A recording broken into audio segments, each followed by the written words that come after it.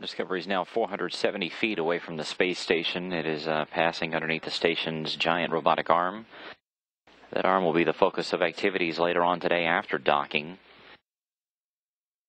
There's going to be a uh, ballet of sorts between Discovery's robotic arm and the station's robotic arm to lift this this uh, Express Logistics carrier number four out of Discovery's payload bay and to hand it off between the two arms and ultimately the uh, station's arm will be used to move over and install ELC4 on the outside of the station's structure.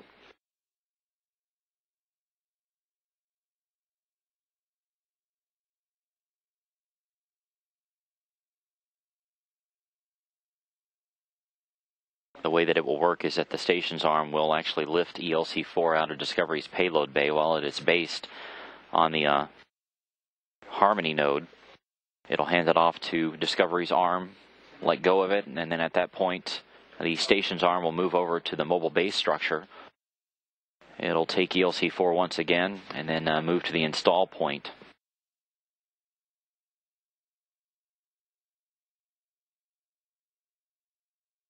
ELC4's ultimate destination will be the starboard side of the station, the S3 truss. That is out on the side of the station where the Columbus Laboratory is located.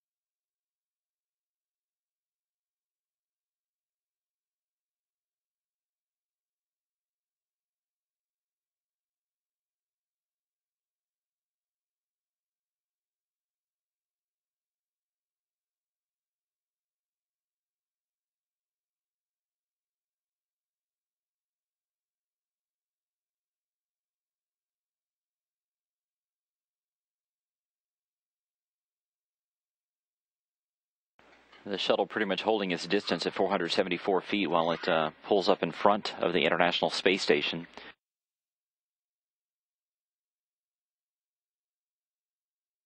But from that distance, you get a sense of exactly how big that orbiter actually is.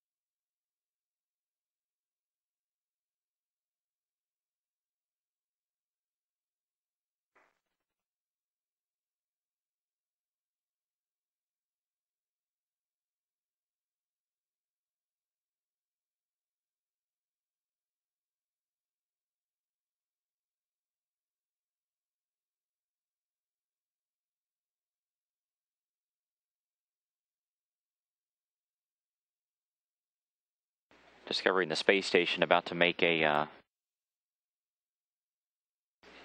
northeastern swing over parts of Europe and then on over toward, toward uh, Russia and then down toward the southeast over parts of Asia. The uh, sun is setting, and so those people in uh, Western Europe and in Central Europe should uh, be able to get a uh, quite a spectacular sight as these two vehicles fly independently of one another. Sometimes you can actually make out uh, both of the dots as they fly overhead.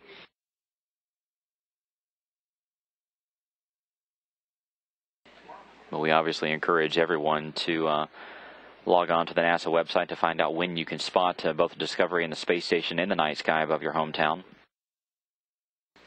This uh, mission presents the last time to see Discovery flying overhead, so we encourage you to uh, find out if you can see it.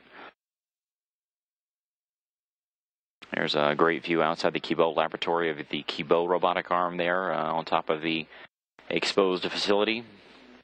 That is an important piece of that uh, Japanese laboratory. The uh, crew cabin of Discovery just now coming into view.